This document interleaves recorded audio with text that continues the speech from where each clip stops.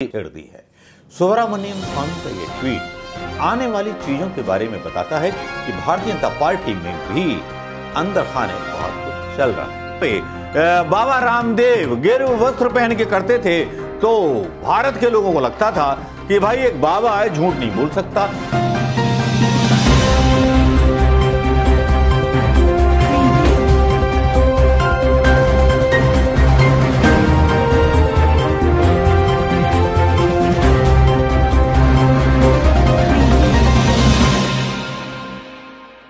नमस्कार, मैं मनोज कुमार शर्मा एक बार फिर आपके बीच में उड़े हुए छल्ले और बल्ले उन लोगों के जो कभी प्रधानमंत्री मोदी जी की जो थी तारीफ़ करते थे बड़े बड़े काम करते थे। जी हाँ एक जो है डेढ़ आँख वाले बाबा, सोशल मीडिया पे उनको बोला जाता है, कानिया बाबा बोला जाता है, पता नहीं क्या क्या कह के उनको बेइज्जत किया जाता है। अन्ना हजारे हो या रामदेव हो, सबको एक तरह से बेइज्जत किया जाता है बेइज्जत इसलिए किया जाता है कि इन लोगों को दोषी माना जाता है कि मोदी की सरकार लाने में इनका बहुत बड़ा अहम रोल था। ये तीस रुपए लीटर तेल की बात करते थे। ये बात करते थे कि टैक्स नहीं देना पड़ेगा इनकम टैक्स नहीं देना पड़ेगा। इस तरह के दावे बाबा रामदेव गेरू वस्त्र पहन के करते थे तो भारत के लोगों को लगता था कि भाई एक बाबा है, झूठ नहीं बोल सकता। लेकिन वो नहीं जानते थे कि ये बाबा आगे चल के इतना बड़ा व्यापारी बन जाएगा, कि इसका बिज़नेस जो है इतना बड़ा फैल जाएगा। भाई बिज़नेस भी फैला, बाबा भी फला फूला भाई, योग की जगह मतलब बाबा को पैसा प्यारा हो गया। ऐसा कौन सा साधु होगा जिसको पैसे से लगाव होगा? जरा बताइए। मैं मोदी जी के भक्तों से पूछता हूँ, क्या कोई ऐसा साधु होगा जिसको माया से प्यार होगा? जो राम राम जपना, पराया माल अपना का नारा लेकर के, एक ही नारा लेकर आया हो, मोदी मोदी जपना, पराया माल अपना, और अदानी के साथ उसके रिश्ते हो गए हो। किसके? भाई, तेल बेचना है, घी भी कुछ भी बेको सब पास हो जाएगा। सरकारी तो अपने आदमी हैं। प्रधानमंत्री मोदी को हमने बोर्ड जो दिलवाया था। भाई, इतनी बात मैं ना कहता। अगर ये बात इतनी मुनासिब ना होती, बाबा रामदेव के समर्थकों को ज़रूर ये बात बुरी बुरी लग रही होगी। भारतीय जनता पार्टी के समर्थकों को ये बात ज़रूर बुरी लग रही होगी और भक्तों को तो जो है आग लग गई होगी, बर्नौल की ज़रूरत पड़ जाएगी तो बर्नौल खरीद लेना, पैसे में भेज दूँगा। आग लगी होगी तो। बाबा रामदेव जैसे जिनको सोशल मीडिया पे बोला जाता है, हरामदेव। हरामदेव बाबा मतलब रामदेव बाबा, सम्माननीय रामदेव बाबा के बारे में भैया, आज चर्चा में आगे सम्माननीय। चर्चा में इसलिए आए कि इन्होंने जो था, अपनी बेइज्जती खुद करा ली, क्योंकि इन्होंने, भाई साहब ने क्या किया कि भाई साहब ने एक अपना ट्वीट हटा लिया पुराना। वो ट्वीट पुराना इन्होंने इसलिए हटाया कि इनकी बड़ी जो थी, छिछालेदारी होती, हो रही थी।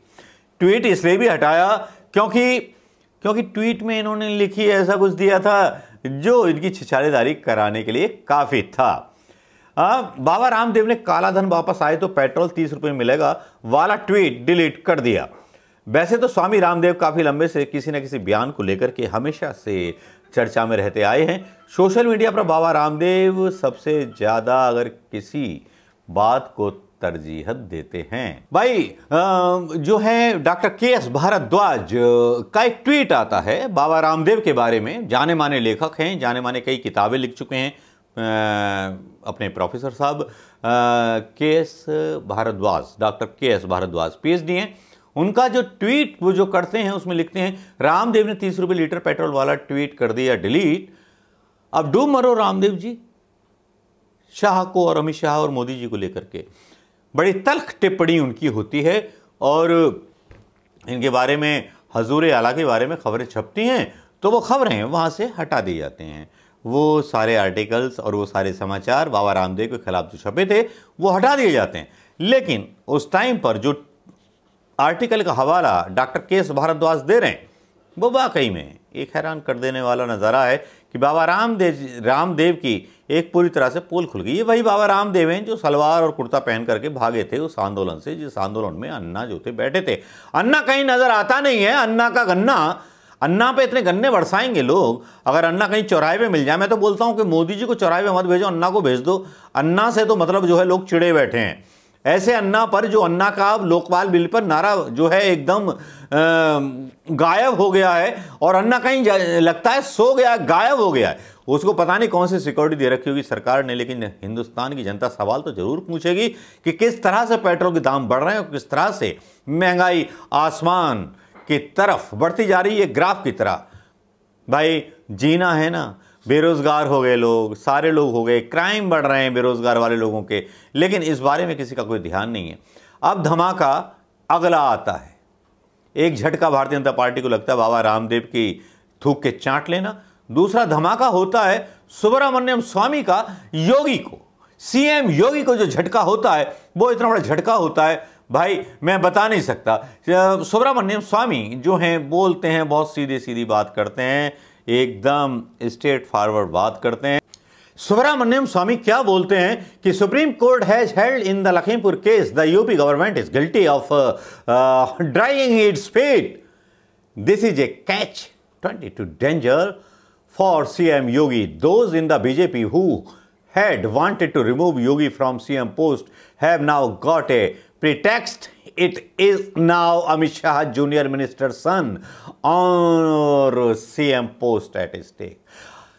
Amit Shah के जूनियर के नेता के बच्चे को बचाने के लिए योगी ने अपनी प्रधान सॉरी मुख्यमंत्री की कुर्सी को दाव पे लगा दिया है और जो लोग यूपी में योगी को सीएम नहीं देखना चाहते भारतीय जनता पार्टी के लोग उन्होंने उनके खिलाफ जो है जंग छेड़ दी है सुब्रमण्यम स्वामी का यह ट्वीट आने वाली चीज़ों के बारे में बताता है कि भारतीय जनता पार्टी में भी अंदर खाने बहुत कुछ चल रहा है। लेकिन यहाँ प्रियंका गांधी ने थोड़ी सी हलचल मचाई हुई है। राजनीति में भी, गोदी मीडिया में भी और महिलाओं के बीच भी। जिस तरह से प्रियंका गांधी ने एकदम से बिंदास खुलेपन से ऐलान किया 40 परसेंट का, बहुत सी फीमेल पत्रकार भी जो हैं सीधे सीधे सवाल करने लगी हैं। उलझने लगी हैं। तो दोस्तों, सुब्रमण्यम स्वामी ने जो कहा, उसके बारे में आप क्या सोचते हो? और बाबा रामदेव जैसे बहरूपिए बगुला भगत को, बगुला भगत, भाई सोशल मीडिया बोल रहा है, हम नहीं बोल रहे।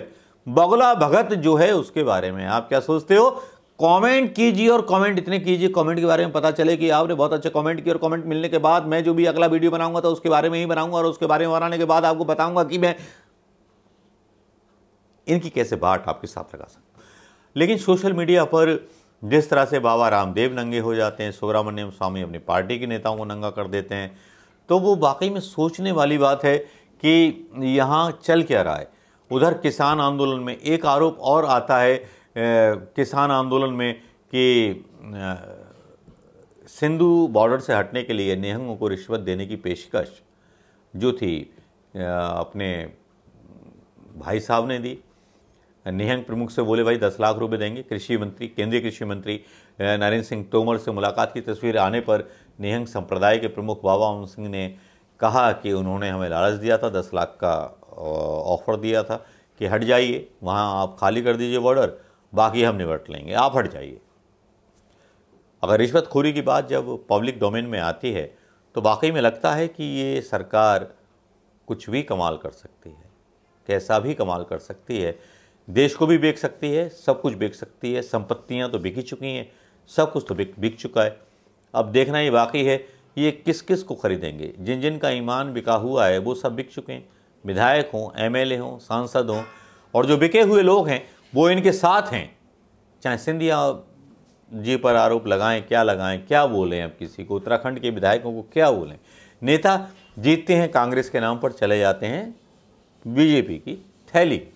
तो ऐसे लोग जाते हैं जिनकी महत्वाकांक्षाएँ पूरी नहीं होती।